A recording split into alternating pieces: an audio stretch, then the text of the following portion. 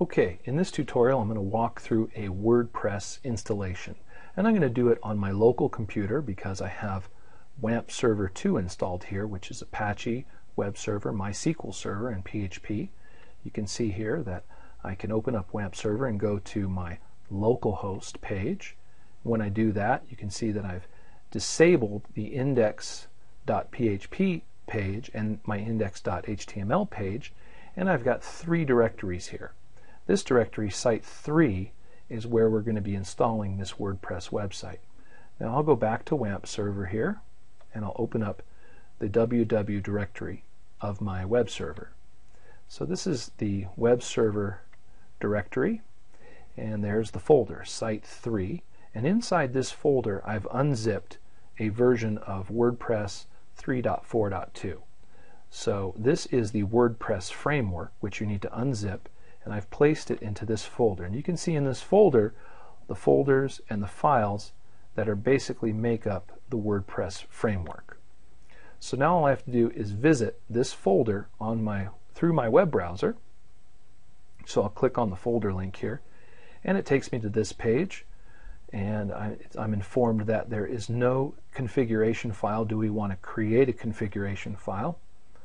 I'll hit yes and it tells me on this page that for this to work, you're going to need to have a database. So, also with the WAMP server, we'll go to our phpMyAdmin page, which I already have open here. And the phpMyAdmin, of course, is a PHP front end for the MySQL server, and you can see that inside the phpAdmin page, I've created some databases one for site 1, one for site 2, and this one, site 3, is the one we're going to use for WordPress. If I click on site 3, you can see that it's an empty database with no tables in it yet. I'll click back on Home. If I needed to create a database, I could just click on Databases and then put in the name of my database and hit Create to create an empty database. With this working model or working server, MySQL server, the user is root. I'll go to home here. And so the server is root and there is no password. And we're going to need to know that for when we begin working with this WordPress website. So you can see here root, root, root.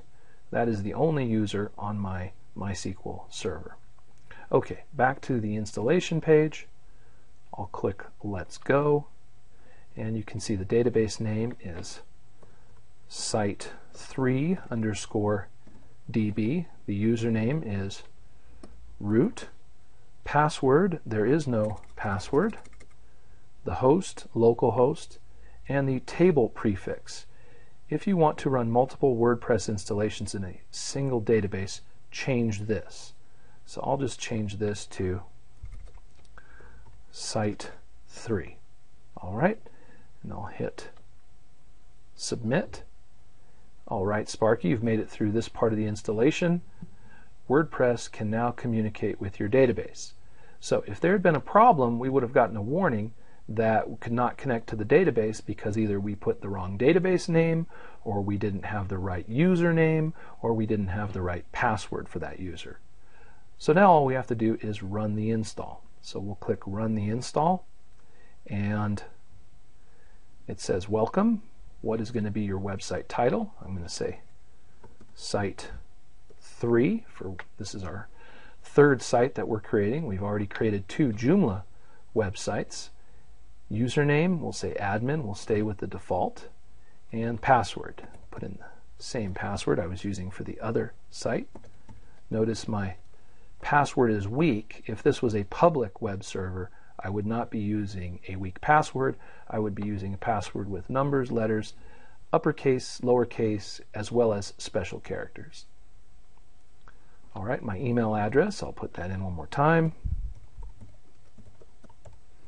All right, and allow search engines to index this site.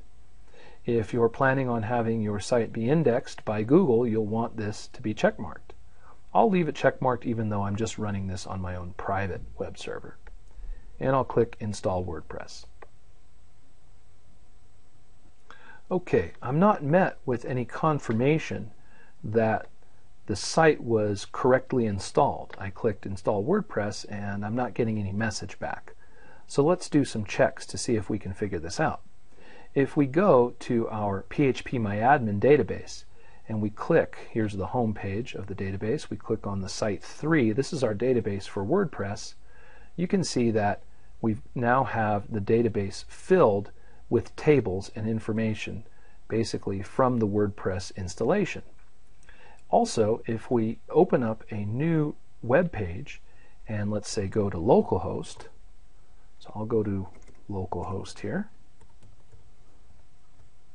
and click on the Site 3 folder where we have our WordPress installation that we've set up, you can see that we're presented with a web page. You can see here it says hello world, which is a sign that everything worked, right? Welcome to WordPress. This is your first post, edit or delete it, then start blogging. Okay, WordPress was designed as a blogging website, how to create blogs, and so this looks like it installed correctly. So I'll just take this page here and close it, and I'm ready to get started administering and manipulating and configuring my three websites. We've got a Joomla 1.5 website that we can work with, a Joomla 2.5 website that we can develop, and also a WordPress 3.4.2 website that we can begin developing. So site 1, site 2, and site 3.